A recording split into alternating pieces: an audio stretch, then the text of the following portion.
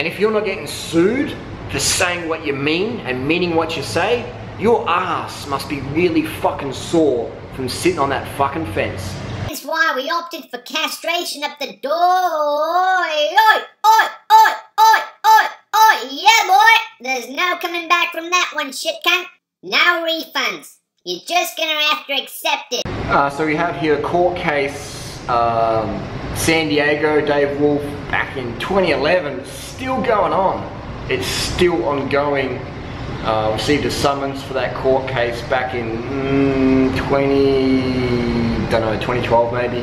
Still ongoing because I haven't heard any formal um, information that it's finished. So it's seven year court case with a multi-millionaire still going on. Uh, the court case two years ago with Kayla and Tobi, 40, they were $46 million. Uh, that was resolved pretty quickly. That was finished, finalised. Got a new one now, apparently. I'm not sure the, the exact details. That one, no one's ever contacted me there. So, but they, they, they usually take a few years.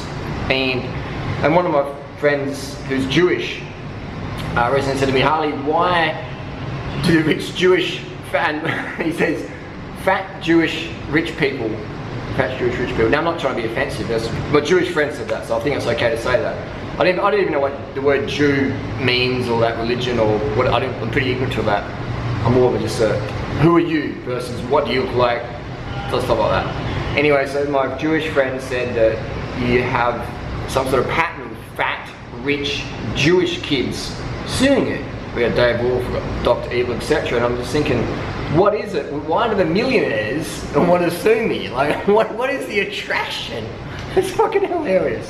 So in 2011, uh, David Wolfe, in 2006 actually, I went to a, a, retreat with Doug Graham, and there was a girl there, quite an attractive, a girl that I would, deem attractive was there, and she had a massive headache, she woke up, she was sort of unconscious a bit, and she went to a Dave Wolfe party the night before.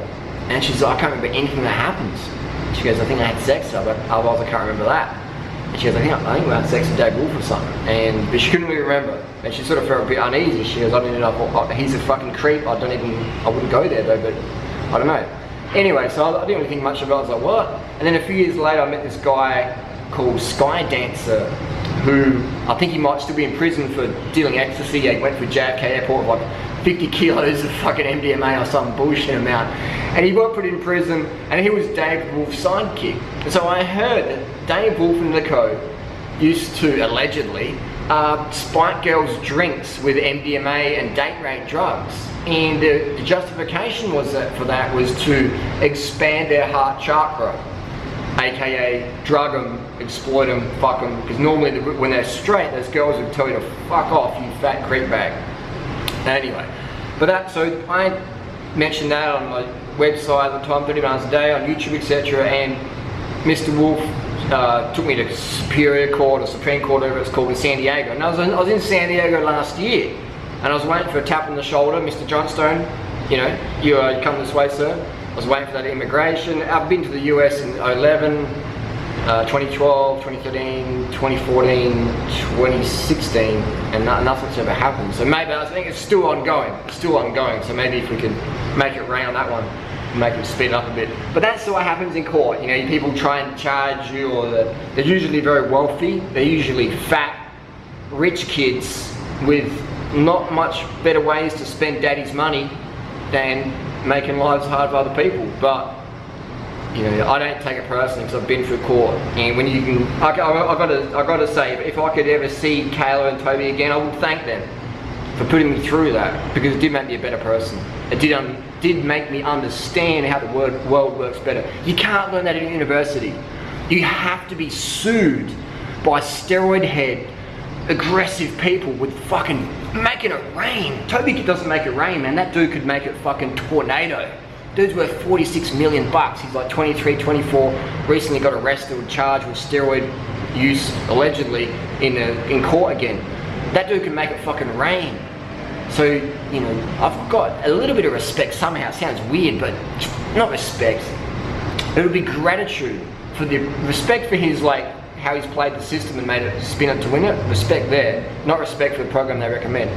But gratitude for putting me through that process because it made me a tougher person. You know, it makes you a tougher person. When you step in the ring, when I step in the ring in sparring here in Thailand, Muay Thai, and there's a fat dude in there, and I'm fucking punching him as hard as I can in the guts, it's not even doing nothing. Because he's got all that jab of the gut protection. He's got the Joe Beast protection. It's like, you know, you learn, you're like, whoa, I'm gonna do headshots. You know, if it was a street fight, I've got to fucking hit him in the groin or take out the knees. Because punch him in the gut. If you're lean, you punch someone in the gut, you can pop their rib or wind them. But an obese person, boom, it's jab with the gut. It's, not, it's like you punch it into a bag, nothing's happening. They're just like, is that all you got? So you have to have opponents in life that really fucking put you to the line. And people shy away from that. People shy away from that. I mean, when I, I admit, when I first started bike races, I used to look on the, on the registration form who signed up. I looked for an easy race. And then when I got a bit more mature, I'm like, I want, I want a hard race. I want the best riders in Adelaide to be there. I want this to really be a test. And can I finish? Can I place? What can I do?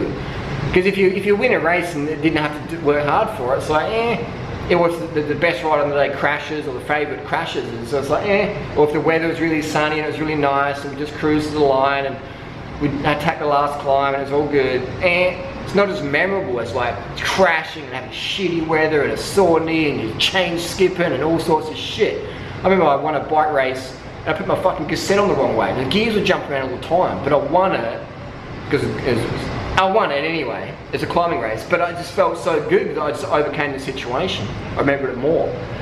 So you don't want to steer away from getting sued in life, you know, put in prison if it's what you really believe in, you know. If you can avoid it, your life, your call, your choices. But I'm not afraid of anybody. I'm not afraid of any system if I'm telling the truth. What, what am I afraid of then? I'm afraid of people not understanding what I'm trying to say. And that, I guess that comes from, not from fear of rejection, because I have no fear of rejection, because I accept myself. I would say that communication, for me, is a, probably the biggest thing in my life, is quality of communication. So, what, so people can understand what the fuck is my intention. Because if you want to help someone, my, my, highest drive in life is contribution. But you can't contribute to someone if they think you're trying to scam, you're trying to scam you, or if you're some fucking, if they think you're some, some crazy weirdo dude. They can't go like, whoa, what's, what's going on here? This is weird. So my biggest fear is people not understanding what my intention is and then missing out on the goal I'm trying to help them achieve. And for me, it's veganism. I want to fucking veganize the fucking planet, man. I, I understand it's never going to happen. That's never going to happen. If you want proof, just look out, go to the shopping mall. You know, go on the vegan community online, look how much fucking bickering there is. How much they, everyone's just chasing some more money and start. I'm like, it's never going to happen. I live in that delusion I do have that mental health issue, if you call it. I'm so paranoid schizophrenic that I really think that the world be vegan. That, that could be a new medical health, mental health uh, category. Veganic or veganetic. Um, or vegantia. Forgetting the world is run by fucking meat, military, money, militia. That's vegantia, where you forget that actually happens and you're vegantia. You forget that the world's not vegan yet. It's vegantia. It's not dementia. It's vegantia.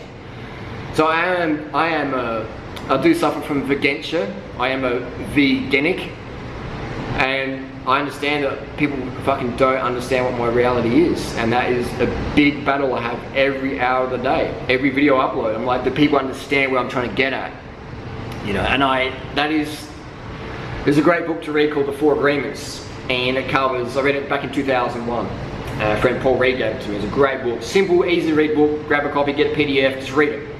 And you get from bookshops, second hand for 50 cents probably. Four agreements is based on don't take things personally, avoid making assumptions, and always do your best, and always keep your word. So if you make a promise, keep it. If you're gonna do something, give it your best shot. Your best shot's gonna vary. Sometimes you feel a bit sick, sometimes you feel a bit dehydrated under carb, you can't do, always give your best. Best is relative. Don't make assumptions. Making assumptions is like someone gives you rude service on the phone, you're like, oh, what a fucking cunt. Maybe they're about to shit their pants, they gotta get off the phone, explode in the toilet, you know? Don't make assumptions, avoid making assumptions. Another one is don't take things personally. Again, person's on the phone, oh, they, they were rude to me because, you know, I, I wasn't spending that much money. Again, they're fucking about to shit their pants, they gotta get off the phone, or they gotta get out, out of the sales room, you know? They, they probably fucking shit their pants already. They're thinking, can you smell the diarrhea in my pants right now? I've gotta get out of here. So don't make assumptions, avoid taking things personally, always do your best and do your best to keep your word. So I would say I would, uh, you know, this whole lawsuits where I get sued, it's, it's always going to happen. You know, until I die. And even when I'm dead, someone will try and sue me because they saw one of my YouTube videos that's still rolling around the internet. Oh, this guy said that, I'm going to fucking sue him. Oh, he's dead. Oh, we can sue Figsy then. You know, and sue his bikes. His bike, my bikes will still be on the planet. You could sue one of my fucking bikes, take it to court. Um, I had to edit that out because what I just said then wasn't appropriate for YouTube. I might have get sued again. No, the video probably get deleted if I said that. So, but you just gotta roll with it, man. Don't live in fear. Fear stands for false evidence appearing real. I've always got lawsuits, man. I've always got haters. I've always got fans. You know, I've always got money going in or going out. I've always got sore legs or great legs. You know, I've always got a bike. Sometimes the tires are flat, sometimes they're not. You know, always got energy. Sometimes more, sometimes less, but it's still alive. As long as you're alive, you're gonna have fucking problems. And people's biggest problem in life, listen to this. People's biggest problem in life is thinking they shouldn't have any problems. Think about it. This party started!